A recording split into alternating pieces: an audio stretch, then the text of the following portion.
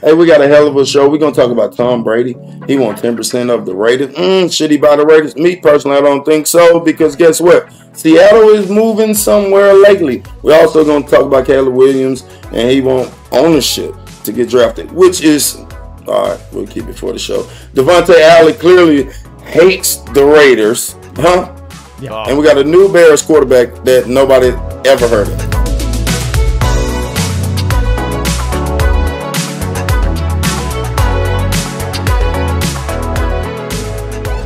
Hello, where we back with Pac-Man Jones Keep Crazy Company? I got Daddy O, I got Dr. Hodge, I got my main Yeah. man Evan in the building. Hey, Ev, the biggest conversation right now is Tom Brady talking about he needs 10% in the race. Me personally. Yeah. This is Yeah. my personal opinion that Yeah. me and Dr. Hodge talked about earlier, you know, because he and Daddy O, you know, they helped me with Yeah. certain things, you know, my mental and my investment. I said I would wait for Seattle to get sold to get 10%. Um, Tom Brady said he wants 10% of the Raiders right now. I'm thinking that's probably a billion dollars at 10%, maybe eight. Well, that's the interesting thing is so 10%, 175 million is what he wants to buy in for, which is that's so much money. 175 million to buy 10% of the Raiders. Yeah, which value which values the team at like 1.75 billion, but everybody's saying that's crazy because the Raiders are probably worth closer to 5 or 6 billion. But I think the other question is Tom Brady as an owner of the Raiders. Like the question I have for you, Pack, is how how big of an impact does that make on the actual product they put on the field? If Tom Brady's an owner, how does that affect the team on the field? I don't think it affected. I think it helps it. Um, How's that?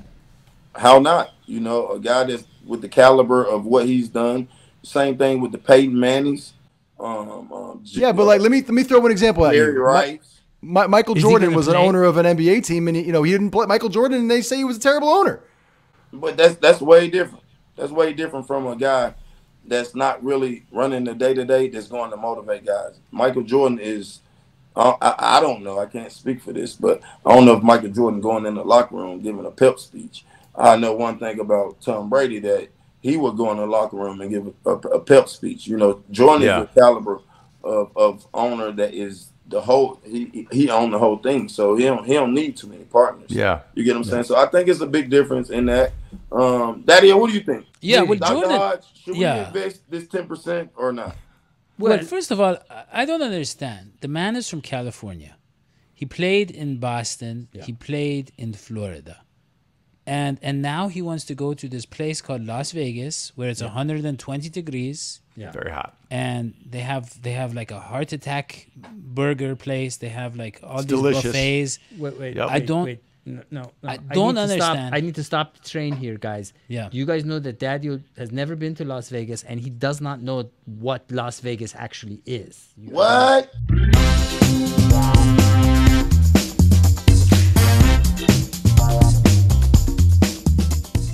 Yeah. Back. He's You want to tell him? You want to tell him back? It must be a very embarrassing place because they always say don't talk about Vegas. No, So they don't say like- that. They say Go ahead and ask me, Dr. Hodge. I know you got a question for me. What happens in Vegas stays in Vegas. What? What? what Pac, tell us your best Las Vegas story. What happened in Vegas? And you, d- in d- you want to Vegas. stay in Vegas? Okay. okay. Let it stay in Vegas. Yeah, but I, I, I don't- I've had a couple of good times. But I'll say that I could speak about. The best time I probably had was my first time playing at Cascata um, golf course. It was unbelievable. The Yeah. views. That was my first time playing in in, in the desert. And now that I'm into golf, um, Is that when you fell in love is with probably golf? My top three golf courses in the world. Man, that was not the story I was expecting to hear. Oh, you They've just got in the story when I went to the strip club and No. had a whole bunch of fun. hear. No, no. Um, but like that's it. Then that was every night like that. Yeah. It was like the breathtaking moments or that view on that par three when I hit that birdie at Cascata. That was way better than the butt naked women. I'll tell you that. I tell you that too. I tell you. What, is, what is, again? What is the draw with the strip club uh, pack? Is it like a fashion show? What is? Daddy, O, what do is you it? like Yeah. girls? Daddy-o is Daddy, O, do you like girls? Yes or no? The- I like the Golden Girls. is a great show. Well, He they doesn't girls get it, girls yeah. in Vegas. Okay. I, I'll tell you my pack. I'll tell you my Las Vegas story, and it's a kind of kind of wild one. So Was this that the one year you got divorced? Oh, I've been married and divorced many times in Vegas. But this time I was married, but I went by myself to Vegas and I was performing and there were these people called showgirls. I know daddy if you know what a showgirl are. They've really tall legs and they wear hats. And there were three of them and we went uh, we went back stage with these showgirls and they kidnapped me. They took me to Cancun and my wife kept calling and saying I, I, for 2 months so Hoji, Two where are you? Hoji, where are you? I said, baby, these women, they won't, they have holding me hostage. Did So they I- use your I credit spent- card? it was the bald two- head. Yeah. I spent two months in Cancun with those sugars, uh, not by my own will. I was kept without my own will. But I can tell you because it didn't happen in Vegas, it happened in Cancun. If it happened in Vegas, it would have to stay in Vegas. Oh my Yeah. God! Hey, hey, this is Evan. Pac-Man Jones. We keep crazy company. Let, let's fast forward it. Davante Adams. Yeah. Oh my God! He comes It- on and talk about how Green Bay offered him way more money. He wanted to change the scene and go and see was the grass greener on the other side. I'm a Davante Adams fan. I Yep. would have never told the media this, but um, what do y'all think? Do you like? It, it's a lot of shit that's going on. Here's here's here's the with the thing. when, when when Davante Adams went to Las Vegas, he went to go join his old college buddy Derek Carr, and then the Raiders got rid Yo. of Derek Carr, and Yo. then and then and then Davante's there, and the Raiders. just did the same thing. They put him out of fucking the building. Like, what the fuck is going on, Derek Carr? Uh, Yeah, yeah, why, but why now don't now people respect his name? Hold on. he's Here's got the- he's got the skills. He just he's just not a, a playoff winner, man. He think? can't win a playoff game. Is it, think is he it, got is the it, is skills? it personality?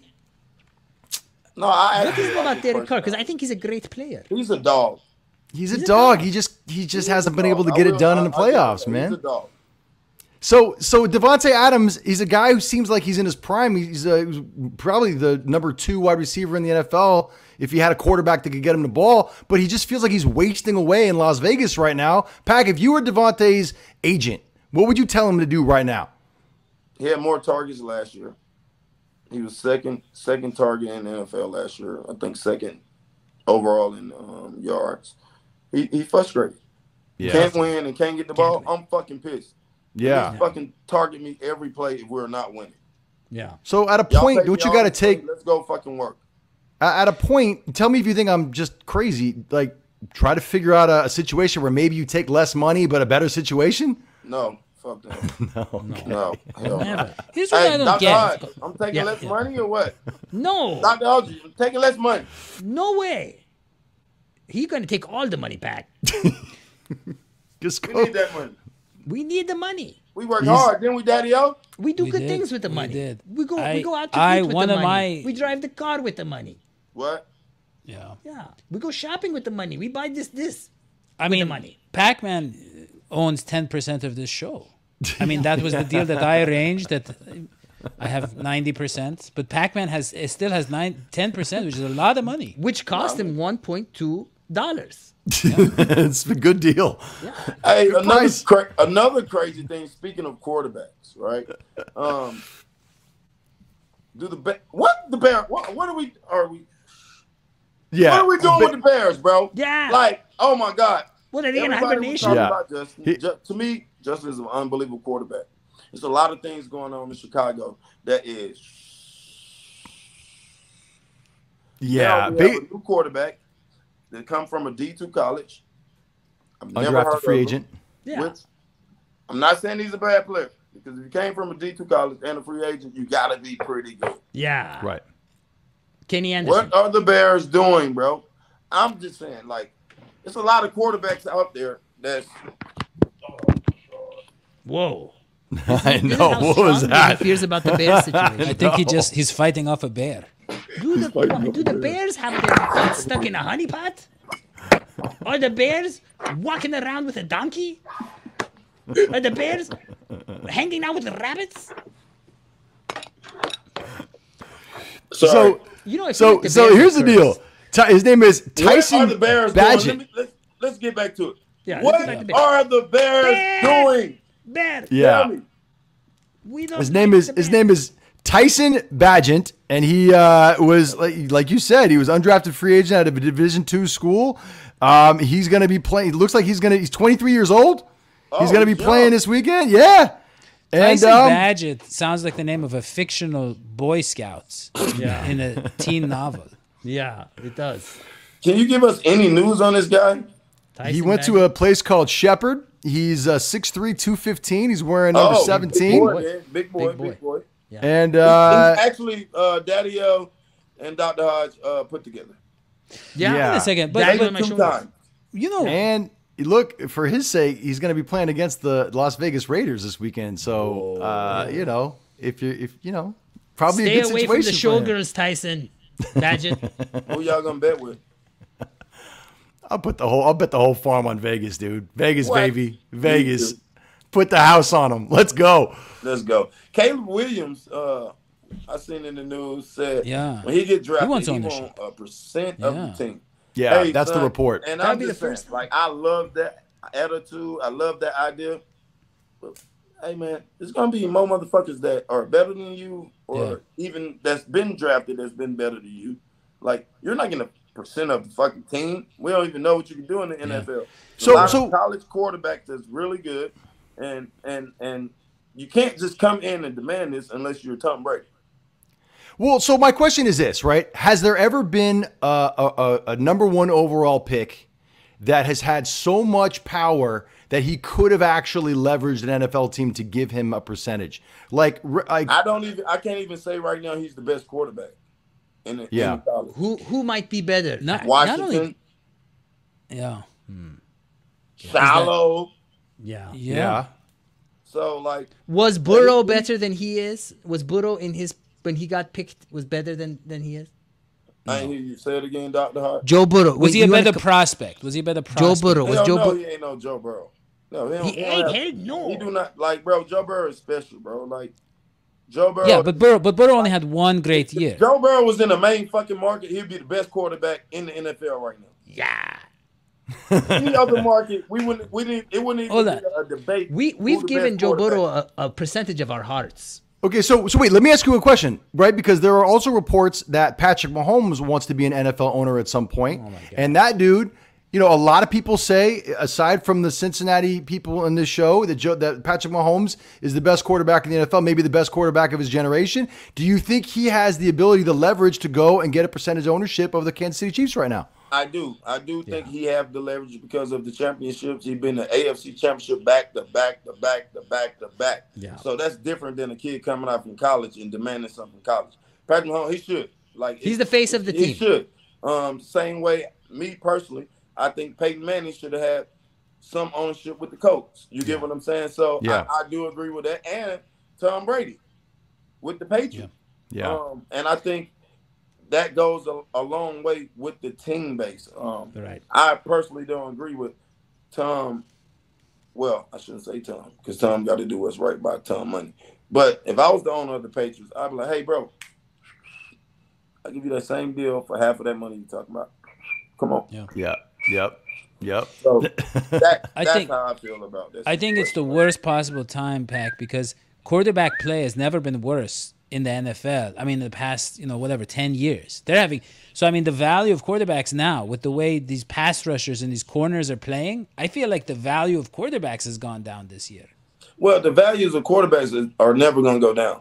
But what you got to realize now is when Tom then was playing, motherfuckers was getting killed. So you could hit a motherfucker any kind of way. Now you can Yeah. throw like if you throw a fucking slant in the linebacker right there and I'm fucking getting killed, I'm coming back to the huddle. So like, what the fuck?